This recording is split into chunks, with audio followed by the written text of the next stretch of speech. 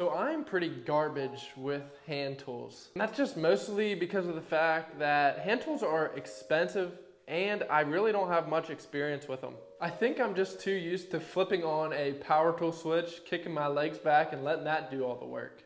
I realized I'm, I guess, pretty good at making cutting boards and bad with hand tools, so I figured if I combine the two of them, I could probably come up with a somewhat mediocre piece. And I know that the best way to learn things is to just practice them. So let's go ahead and send it.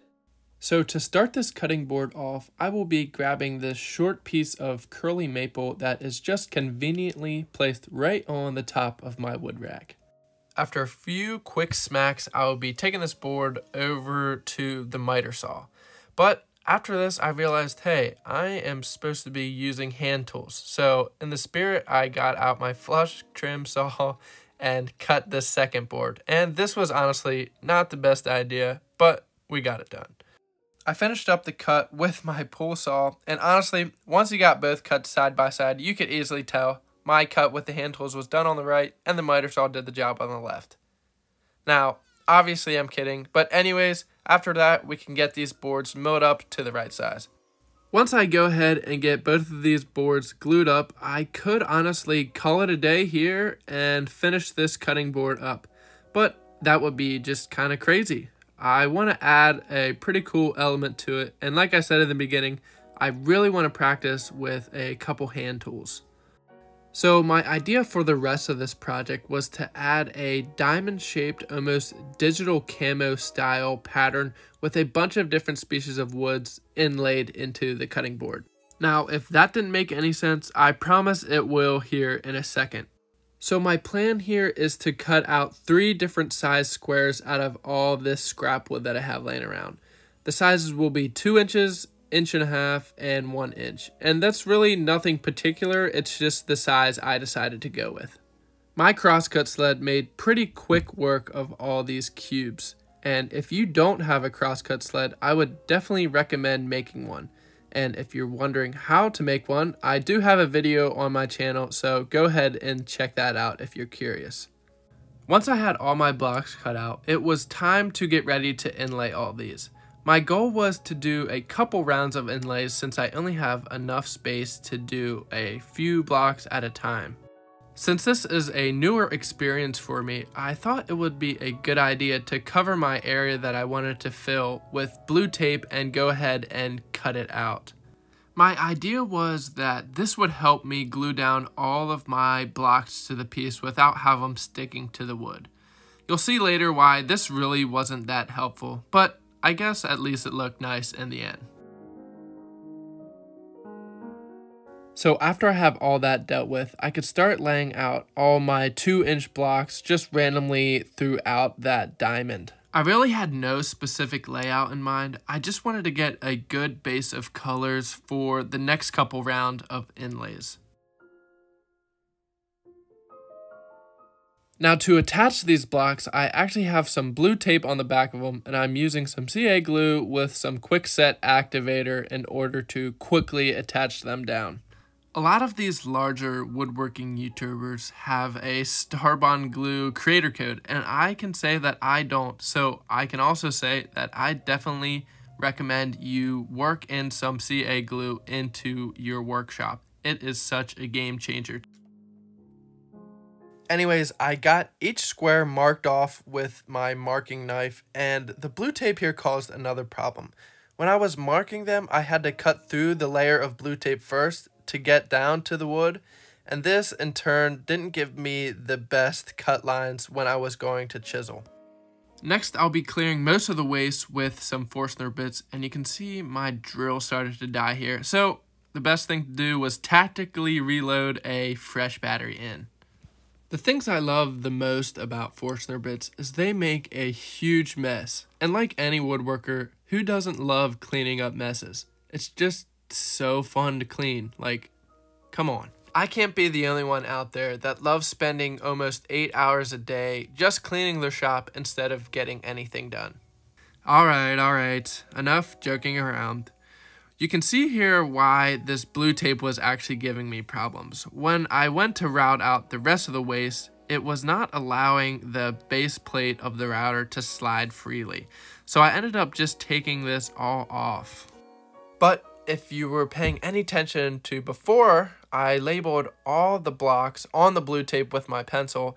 So now all that was gone. So luckily I had all of it on video. So later I could go refer back to which block went where. But for people that don't record everything they do, this could definitely be a problem. So finally, it was time to start doing some chisel work. This was the part I was most excited for. But this excitement quickly turned to disappointment.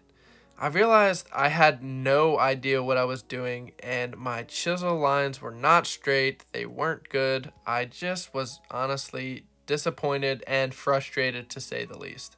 This first round of eight inlays that I did probably took me over a span of a week to do. And not because it took a long time, it was because I just didn't want to do it. I was so discouraged and thought about scrapping this project so many times. But I realized the more I do it, the better I will eventually get. And eventually, that is actually what happened. I had to realize that when people start something new, they're usually bad at it, and I just wasn't good at accepting that. I would consider myself a pretty competitive person. When I do anything, I want to be good at it, or at least try to be good at it. And when I'm not, it's a big slap in the face for me. But it all depends if I want to get up and keep trying or just give up. And luckily here, I kept trying. Alright, enough about my cliche story telling you to just keep trying. Anyways, it was finally time to put the plugs in the inlays, and this was actually a pretty satisfying part. I didn't know whether to use a block to hit him in or just hit him in straight with the hammer. I don't think it really made a difference either way, but like I said, this was fun to do and satisfying. So some of you may be thinking this already, but I could have made this whole project on a CNC machine if I really wanted to. Well, kind of. I don't have a CNC machine, but if I did, I could have easily cut out the plugs and the inlays without a problem on my CNC, and it would have took me a quarter of the time.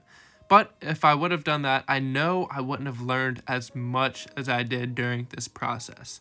Whether you're just starting out or you're a proven professional woodworker, I think there's always something out there that we can learn to make our woodworking skills better. I think what I'm about to say is going to really make the CNC people mad, but honestly, it's how I feel. I honestly think CNCs make us woodworkers lazy.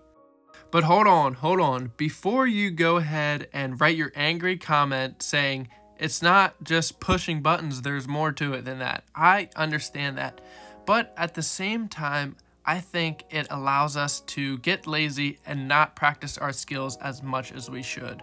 Say you're making a carved out sign for the front of your house with your name on it.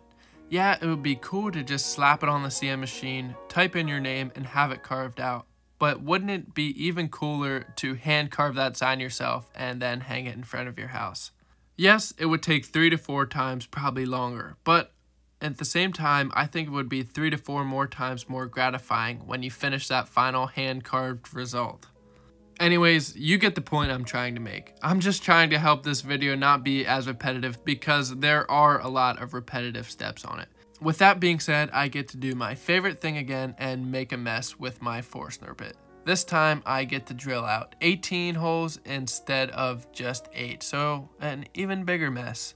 So in my shop, I like to say safety is number one priority, but I can't truly back that up. But here is a time where it definitely is number one priority. When I'm routing this out, I always make sure to wear safety glasses because I had an experience where a piece of sawdust flew back into my eye and it actually scratched my eyeball. I didn't even know it was possible to scratch an eyeball, but let me tell you, it was not fun. It basically felt like I had that piece of sawdust stuck in my eye for two days straight. It was miserable. So from that day on, whenever I'm routing at eye level, I will always wear safety glasses. And honestly, I should start wearing them more. And I feel like there are a lot of people that are in the same boat as I am. On the second round of inlays, I could definitely feel myself getting a lot better with chisels. My gaps were getting tighter and I was just getting a little bit quicker. I actually found that doing chisel work like this can actually be very therapeutic. I found that just throwing some headphones on and putting in a good podcast can make the time fly by. I am pretty curious to know whether you guys just like dead silence or you throw some headphones in and listen to a podcast or some music.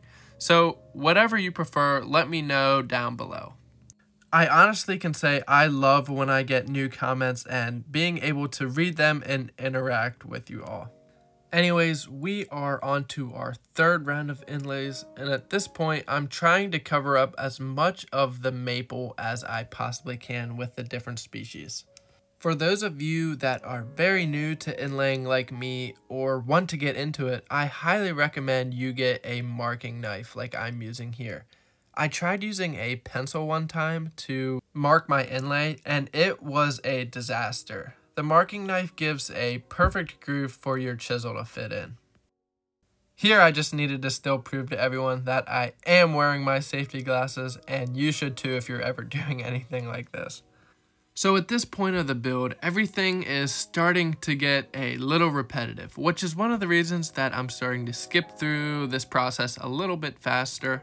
But even though it is repetitive for me, it is also really important to keep practicing this skill. I've heard somewhere that it takes 10,000 hours of a skill to completely master it. And while I'm maybe 10 to 15 hours into this skill and I have a long way to go, I certainly want to still get good at it. The last thing I want to do is be working on a large table that needs some bow ties or some sort of inlay in and I mess it up because that could be an expensive mistake. So I would say each inlay that I do is one less chance that I have to mess up in the future on a way more important project. Once I am finally happy with all the inlays that I did, it's finally time to finish this guy up. And the first thing that I'm going to do in the finishing process is get it sanded and smoothed out. I do have 120 grit sandpaper on my drum sander and it did come with 80 grit sandpaper and I found that 80 grit sandpaper was just a little bit too harsh so I switched it out. Anyways, I'm going to be adding a real small 3 16th of an inch round over just to not take too much away of the main focal point of the board. I have to admit, I was so excited just to be done with this board and get it finished up. But I did want to try a different type of finishing method for a cutting board that I usually do. And I did a little research and found that Rubio Monocoat is actually food safe. And the reason I decided to go with this is because I'm probably not going to be using this cutting board for actual cutting purposes very often. So I wanted to try a new finish just to see how it would turn out. For a cutting board like this, I would typically go with just a simple mineral oil. But like I said, I wanted to try something different here. And as you can see, I think it looks awesome. For those of you that don't know, Rubio Monocoat is typically marketed as a hardwood flooring finish, which in turn kind of doesn't make sense when applying it to a cutting board, but you can see how it just brings out the curl in the curly maple there, and I think it is just a beautiful finish. Anyways, once I have it all buffed off, we are coming down the home stretch here. The last thing I need to do is just to add some small rubber feet to all four corners and then we can go ahead and try to take some fancy pictures of this board with my newer setup. I'm still working on my photography skills, but I think I ended up managing to take some pretty decent pictures.